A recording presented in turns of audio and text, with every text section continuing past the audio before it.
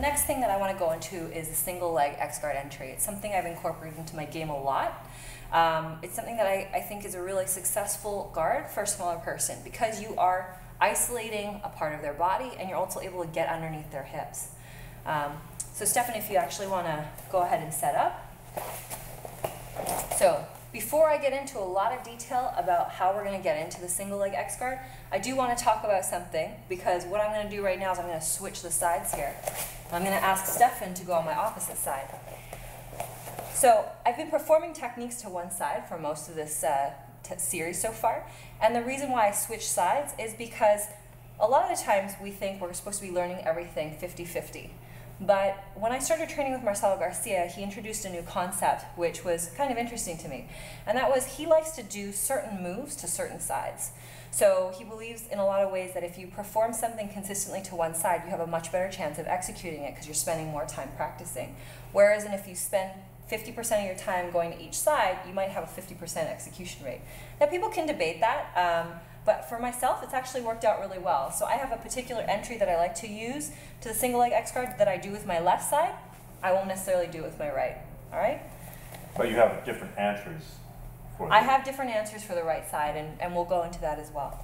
So for the left side, when we think about starting out here, again, this idea of waiting for your partner to enter into your zone, right? This is really close for me. So before I let Stefan get this deep, I want to have my hands out ready to block. So when Stefan takes a step, I've already got his knee stopped. Okay? This prevents him from getting so close that I can't really get in. Now that I'm here, I'm going to go ahead and swing my foot directly in front of his shin. So we're kind of crossed right here. When I get this close, I want to move myself closer to him and actually lock his leg towards me. So now I've tucked his leg and locked it against my body. From this point in, I'm actually going to go ahead and swing under. And when I swing under, I'm going to swing deep. And I'm actually going to load Stefan's leg on top of my body, just like this. So you guys can see just from there that his balance already got offset from me pulling him over me like that. A lot of ways, it's not expected, right? People are thinking, why would you just pull somebody on top of you? But the idea is that I'm going to swing my leg through and pull it up on his hip.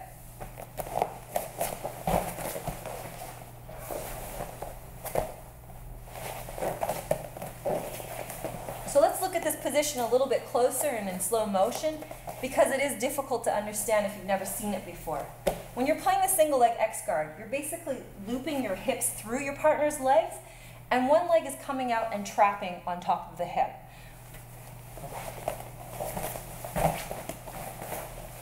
When I come here, some of you guys may be saying, oh, well, that's a knee reap, right? For those of you that compete. The idea here is you need to be careful to keep your toes out and you're going to use the pelvis as a ledge for your heel to hold on to.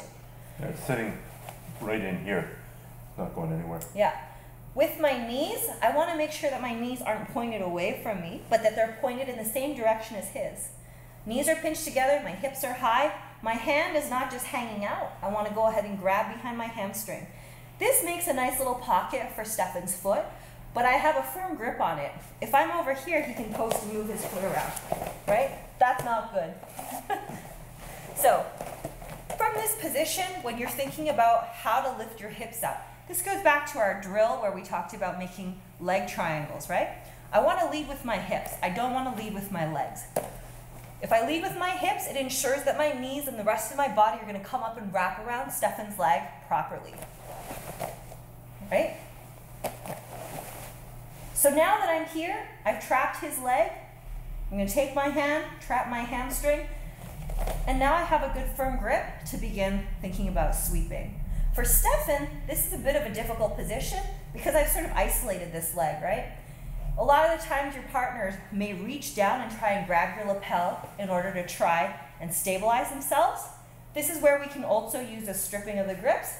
We come here and you lift up, right? There's no reason why you can't do that. I still don't want him to stabilize even though I'm on the bottom starting to play my game. So I've got a couple of questions for you.